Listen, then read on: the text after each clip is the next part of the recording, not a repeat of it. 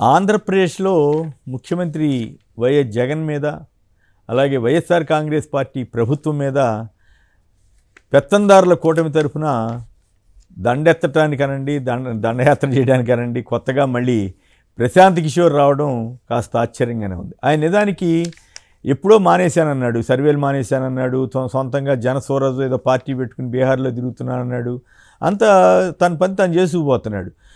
పైగా ఈ మ ఈ మధ్యకాలంలో ఎవరిని అడిగినా కూడా నేను అసలు ఏం పట్టించుకోవట్లేదని కూడా కొన్ని ఇంటర్వ్యూల్లో చెప్పారు.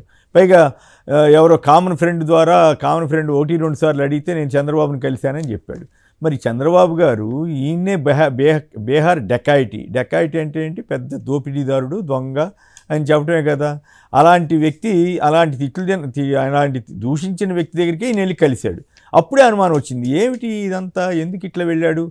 కాస్త బీహార్ పౌరుషం చూపించాలి కదా గౌరవం చూపించాలి కదా. అయినప్పుడు కూడా ఆయన అట్లా వెళ్ళటం సరే వెళ్ళాడు ఏదో అయిపోయింది అనుకున్నాం. తీరా చూస్తే సడన్గా మళ్ళీ ఒక మూడు నెలల తర్వాత రెండు నెలల తర్వాత సడన్గా హైదరాబాద్లో ప్రత్యక్షమయ్యి జగన్ ప్రభుత్వం ఓడిపోద్ది అనే ఒక వ్యాఖ్య చేసి వాళ్ళకి తెలుగుదేశానికి తెలుగుదేశానికి ఉపయోగపడాలని ప్రయత్నిస్తున్నట్లుగా ఉంది. నిజానికి ప్రశాంత్ కిషోర్ చెప్పిన లాజిక్లో నాకేమీ అర్థం కనపట్ల లాజిక్ కనపట్టల. ఆయన మామూలుగా ఒక బట్టగాల్చి మేదేసినట్లుగా ఊరికే ఒక స్వీపింగ్ రిమార్క్ చేశాడు తప్పితే ఒక లాజిక్ తోటి పలానా కారణం వల్ల ఇది అవుతుంది పలానా కారణం వల్ల నష్టం జరుగుద్ది అని చెప్పాలి కదా. అసలు ఆయన ఆంధ్రప్రదేశ్లో తిరగకుండానే ఆయన ఇష్టం వచ్చినట్లు వ్యాఖ్యానం చేయటం ఎలక్షన్ టైంలో మాట్లాడటం అంటే పూర్తిగా బాధ్యతారాహిత్యం.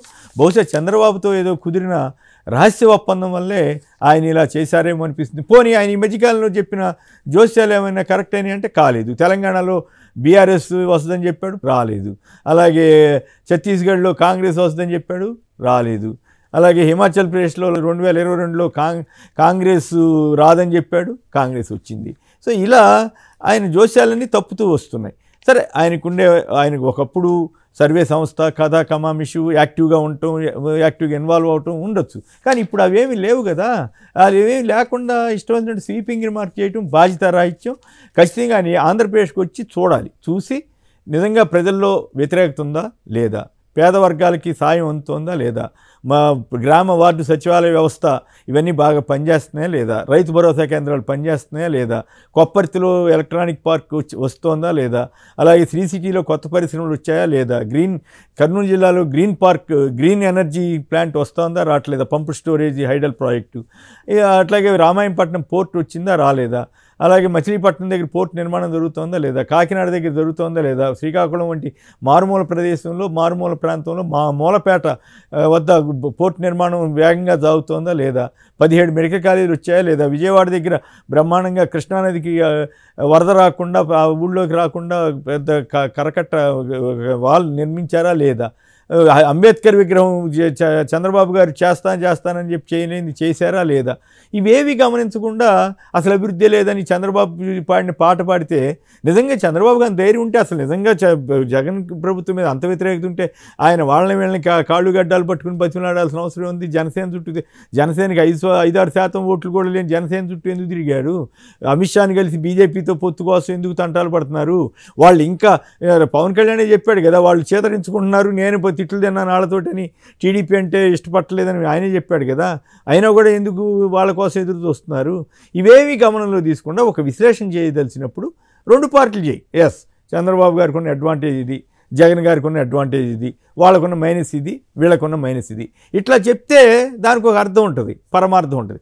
అవేమీ లేకుండా ఊరికే ఒక స్వీపింగ్ రిమార్క్ చేసి జగన్ గారి ప్రభుత్వానికి నష్టం చేయాలనుకుంటే మాత్రం ప్రశాంత్ కిషోర్ వల్ల అవ్వదు. ఎందుకంటే బీహార్లో ఆయనే సక్సెస్ కాలేకపోయేంత వరకు రాజకీయ పార్టీ పెట్టుకుని ఇక ఆ రోజులు పోయిన ప్రశాంత్ కిషోర్ రోజులు పోయాయని మనకి అర్థమవుతోంది. ఆయన ఆ విషయాన్ని అర్థం చేసుకోకుండా ఆయనే అనవసరమైన వ్యాఖ్యలు చేసి పరువు పోగొట్టుకుంటున్నాడేమో అనిపిస్తోంది. కేవలం చంద్రబాబు ట్రాప్లో పడినటువంటి మరికొందరితో పాటు ఈయన కూడా జతయాడి తెప్పితే ఇంకొక భావన నాకైతే కలగటం లేదు. ప్రశాంత్ కిషోర్ గారు ఇలాంటి పెత్తందారుల కూటమి నిజానికి మరి ఆయన కూడా అప్పుడు ప్రతిపా జగన్ గారు ప్రతిపక్షంలో ఉన్నప్పుడు ఈ నవరత్నాల కూటమి ఈ డబ్బులు పంపిణీ కార్యక్రమానికి సంబంధించి స్కీములు ప్లాన్ చేసిన వాళ్ళలో ఆయన కూడా ఉన్నాడు కదా. మరి అంటే ఆయన కూడా తప్పు చేసినట్లే కదా. ఒకవేళ అదే కరెక్ట్ అయితే మరి అది కరెక్ట్ అది క- తప్పు అయితే చంద్రబాబు గారు ఇప్పుడు ఐదు రెట్లు పంచుతానంటున్నాడే. జగన్ గారు యాభై వేల కోట్ల లోపు వివిధ స్కీముల కింద అమలు చేస్తాను ఖర్చు పెడతా ఉంటే చంద్రబాబు గారు లక్షన్నర కోట్లు ఏడాది ఖర్చు పెడతానంటున్నాడు. మరి ఎక్కడిని తెస్తా తె- తెస్తావయ్యా? అది పద్ధతి కాదు. నిన్నెవరు నమ్మరు. అప్పుడు శ్రీలంక వద్దన్నావు. ఇప్పుడు మరి ఐదు శ్రీలంకలు చేస్తావు అని చంద్రబాబు గారిని అడుగుంటే ఎస్ అప్పుడు ప్రశాంత్ కిషోర్ గారు ఏదన్నా అర్థవంతంగా మాట్లాడినట్లు లాజ పద్ధతిగా మాట్లాడినట్లు అనిపిస్తుంది. అవేమీ లేకుండా ఒక పిచ్చి వ్యాఖ్య చేసి ప్రశాంత్ కిషోర్ అనవసరంగా వివాదంలోకి వెళ్ళాడు. తద్వారా ఆయన పరువు బాగుంటుంది